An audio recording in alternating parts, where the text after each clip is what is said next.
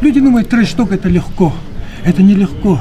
Чем больше ты разговариваешь, тем больше тебе приходится работать. Тебе нужно оправдывать свое это поведение. Тебе нужно дать газ в клетке. Чтобы дать газ в клетке, нужно три месяца жить в спортзале. Вот я и жил в спортзале, понимаешь? А если я молча буду выходить, молча, я не буду так впахивать. Мага, я всех записался, плохое интервью будет, но потом. Имейте в виду.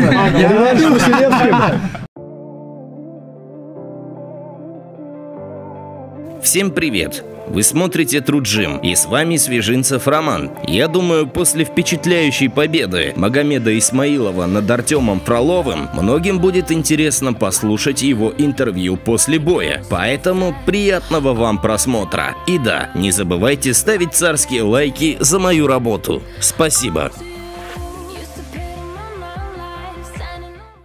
Смотри, когда ты увидел, что сделала твоя голова с головой Фролова, ты видел на эту гематому Блин, мне очень неудобно. Не, ну, головами стукнулись это домой. выглядело, ну, страшно. Типа, потому что на экране это выглядело Ну, ну, мне обидно было, я потом думал, блин, как-то не бить что ли туда теперь, слушай, и думаю, ну не бить туда тоже не получается, у нас вся работа была выстроена вот отсюда как-то, и мне было как-то неудобно, я честно, это очень сбивает с настроя на бой, когда ты думаешь, блин, я ему головой попал, вот такую гематому сделал, как я сейчас еще ему туда буду бить, вот эту гематому, и я как-то пытался завернуть кулачок чуть-чуть, попрости, чуть-чуть ниже пытался завернуть, чуть-чуть ниже этой гематомы. Я пытался, и вот это чуть-чуть меня отвлекало, если честно тоже.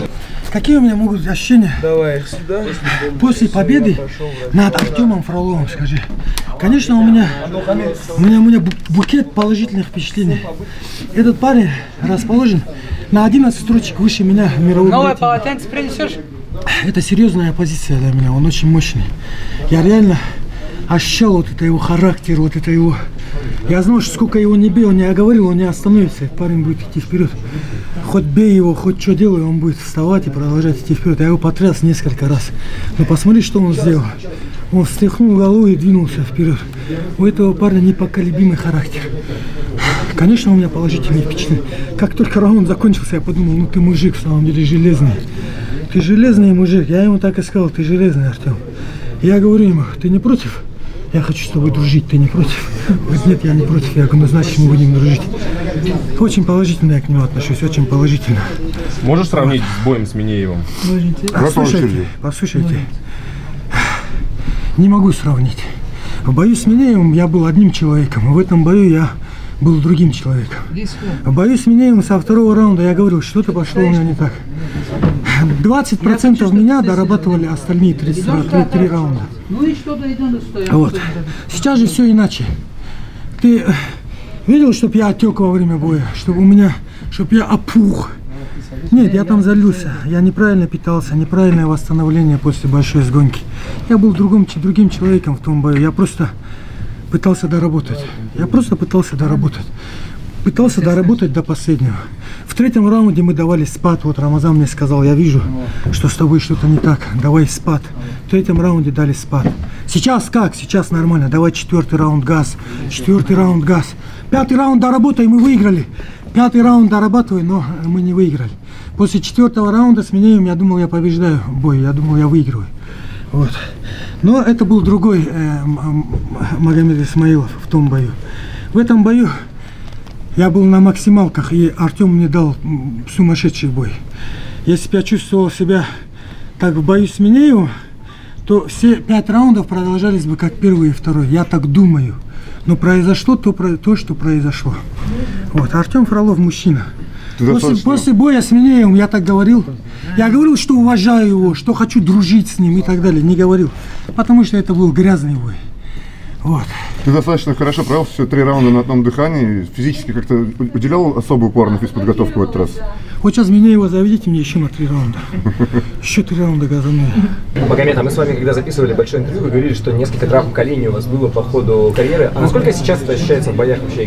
Ну, мне нужно заняться коленом, мне нужно заняться своим коленом. Он бил мне сейчас внутренний лоу-кик, и мы, в принципе, ожидали этот удар.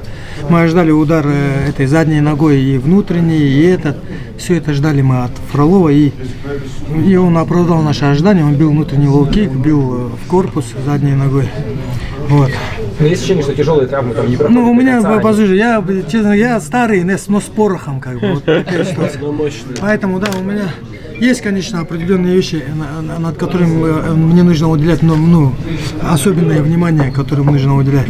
И вот я сейчас после боя собираюсь уделять э, этим моментам внимание, чтобы я мог в следующем бою газануть еще раз. А, завтрашний день как проведете? В постели, в постели, в постели и за столом у Владимира Атаровича.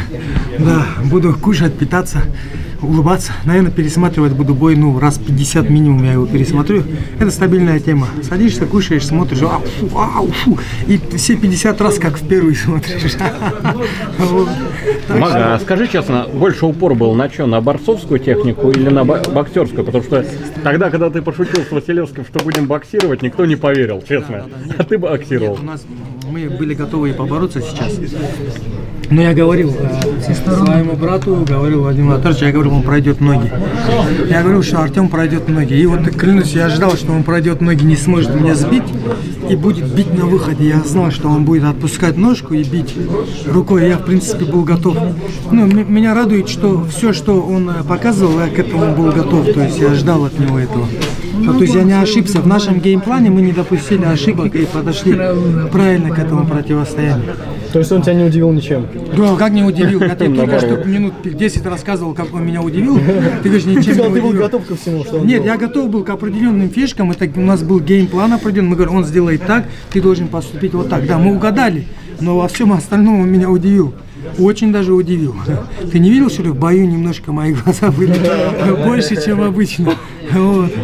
Фляг что- после боя был прекрасен, честно скажу. Это теперь будет всегда? А, это- Э, Слушай, это просто меня чуть замучили этими, типа, ты умираешь в третьем раунде там и так далее. Да, это было, ну, все мои предыдущие бои до боя с мнением.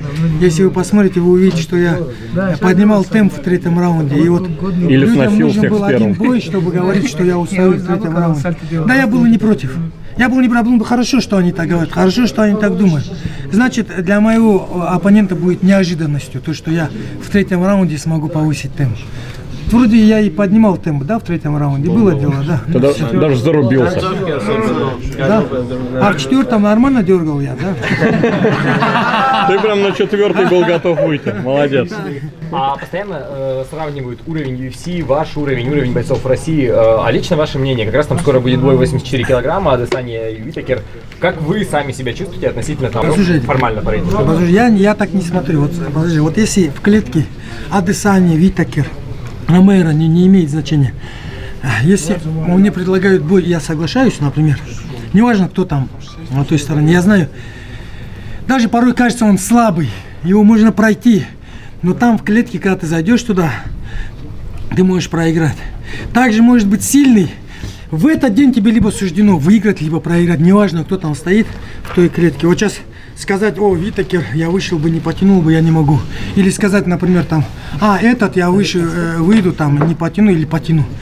Там в этот день я буду готов, на Витакера я буду готовиться, как и на Витакера.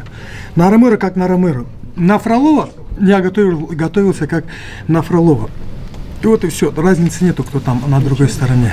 Важно, каким ты будешь в этот вечер. Ну, условно, если бы вам предложили подраться с первым номером рейтинга, вы бы не стали Да, говорить, вперед. что нужны там... Вперед! Вперед! Мы с тобой говорили о том, что все твои поединки, они все разные, да? Э, медийные, э, спортивные. Э, вот у тебя уже был и спортивный бой с Артемом. Э, До этого были громкие бои денежные, ну можно тоже так их назвать, да? Э, С, с трэштоком, с поддержкой медиа. Э, Следующий поединок, он, может быть, будет кардинально отличаться от этих двух прошлых. Хотелось бы что-то вообще новое, кардинально, Возможно. интересное. Возможно. Возможно. Может быть, с иностранцем, Ну, например. вот, и я хочу какое-нибудь такое вот имя, вот, чтобы сказали, вау, он же разнесет сейчас Исмаилова, и чтоб я, уф, ну что ты с нами? Отстань от Алексея Бутурина, он хороший боец. Этим Давлетджаном. Да, с очень сильным. Мага, мага нашел соперника. Возможно, рискую своей этой жизнью. Я кандидат да. мастера спорта по борьбе, вариант порубиться с тобой. А давай перчатки поднем разберем. Сейчас же Не, побороться чисто, побороться. Я дерусь только в стойке. С кандидатами мастера спорта по борьбе я дерусь в стойке. Ничего меня сейчас не беспокоит физически. Буквально через три месяца мы можем повторить. То есть выйти в клетку, иншаллах, и подраться мы можем снова. То есть ах, я не хочу сказать, что э, Фролов не нанес мне ущерба. Там, там. У меня болят кулачки, слушай. Он железный парень, на самом деле железный. Ну, пуф, попадаешь, думаешь, о, ничего себе, это что за голова, слушай. Мне кажется, у тебя есть один вот очень интересный соперник в России, который тебе бы очень подошел. Это Скажи. Иван Штырков. Нет? Иван Штырков? Да, как тебе? Ну, Иван Штырков большой, нет, парень? Большой. но Большой. Ты тоже не маленький. Нет, Иван, Он Иван 84 Штырков дня большой. Он хотел, ну, говорил о том, что может попробовать там. Он же в 84 резине сейчас дерется. Сейчас, да, но... в А так было бы интересное противостояние. У него есть имя, я думаю, ну... Просто больше никого в России не осталось под Магомеда Исмаила. Да ладно тебе, слушай, Ярослав. Кроме Штыркова никого нету, хочешь сказать, да? Шлеменко, ну Шлеменко... Ну да, а что, кроме Шлеменко, например, Анатолий Токов, например. Очень интересно. Ну, Риван, ну тебе интересно. пусть ко мне идет. Я же когда-то, когда-то, когда я был более раскручен и так далее, я не посмотрел там э, Токов, есть у него имя, нету и так далее. Я вышел с ним и подрался. С момента, как он одержал надо мной победу, да, он выиграл. И это единственный парень, поражение которому я признаю, что я реально проиграл ему в том бою. И с этого момента его карьера пошла вот на всплеск, на пик. Вот теперь он мне должен тоже дать вариант отыграться. Кстати, он мне в наглую сказал, типа, нет, я говорю, реванш говорит, нет, не хочу. Я говорю, ты от души, от души, братья. Я ему говорю, реванш сделаем. Он говорит, нет, не сделаем. Я говорю, как не сделаем? Я говорю, ну ты хоть так, я говорю, чуть-чуть, ну имей, да, скромность, чуть сказать, возможно, там хотя бы. Грубо говоря, Токов это твоя вот... Только мне интересен. И последний прямо. один Штырков тоже был бы интересен.